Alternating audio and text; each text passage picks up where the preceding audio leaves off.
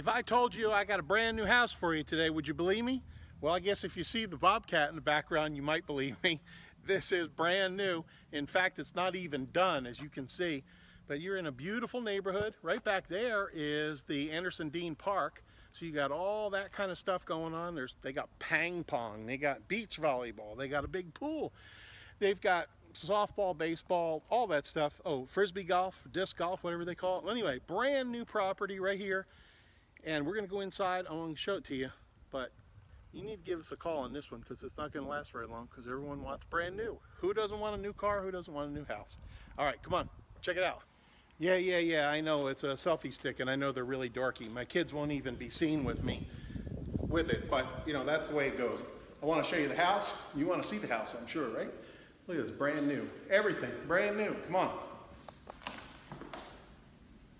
That's a big garage the hardwood floors, tile, laundry room's there. Check out this master bedroom. It's huge. I'm gonna take all the good photographs for you and you're gonna see those tomorrow. There will be all new appliances, brand new appliances, but they're not in there right now.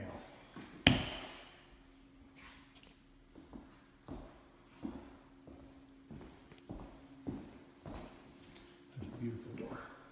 Check that out. There's a finished room over the garage too.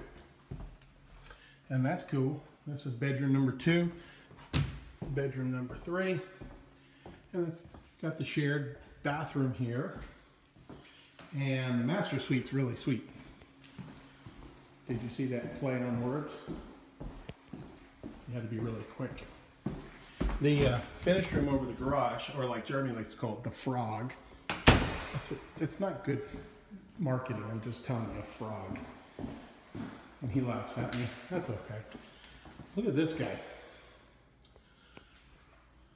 Huge walk-in closet. And you got the jet tub and all that jazz. Just wanted to show you a little prelim. And then the shower is big enough for four or five of your closest friends. We're like that here in Kentucky. Southern friendly hospitality. All right, a call. Phone number's right here. I hope I can put the phone number down here. Talk to you later. Toodles. Yep, go to the website. Definitely go to the website and you can see the real photographs and the real video. Ciao.